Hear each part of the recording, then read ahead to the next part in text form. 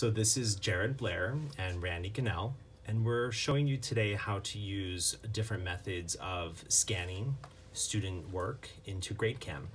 So today, for the first one, we're going to show you the hover cam, which you'll notice the hover cam has been connected by USB to the computer.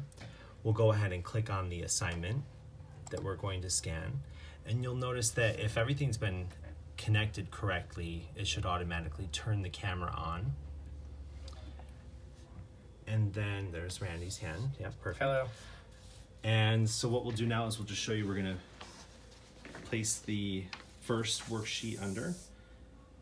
And as we do that, you'll actually see the student work come up and give it a moment and it will scan the document and we'll have that data imported. So we'll do it one more time. Place that under. Make sure you line up the solid square outline around the bubbles. And there we go. Okay, this is Randy Gannell. Uh, we're going to show you another option for scanning into GradeCam. Um, this time we're going to show you using the built-in webcam on a laptop or a web or a Chromebook or some type of device.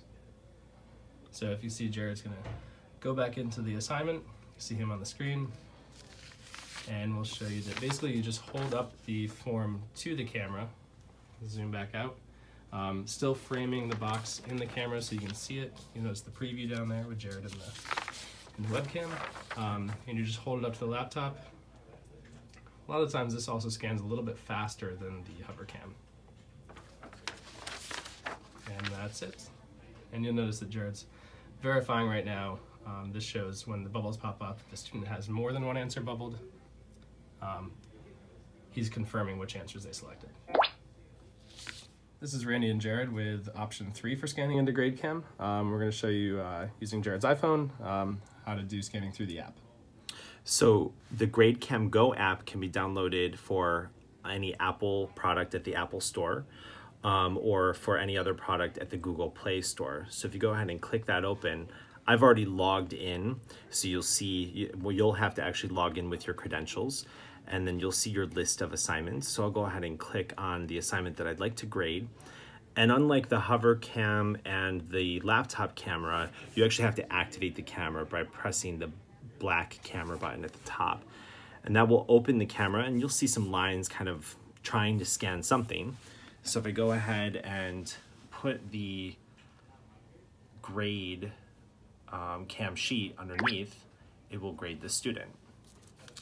And then uh, what's really nice about this is you just can just kind of go through and it's actually very quick.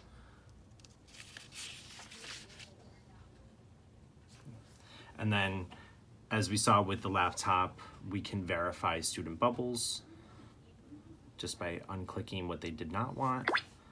And that's our third option using the app.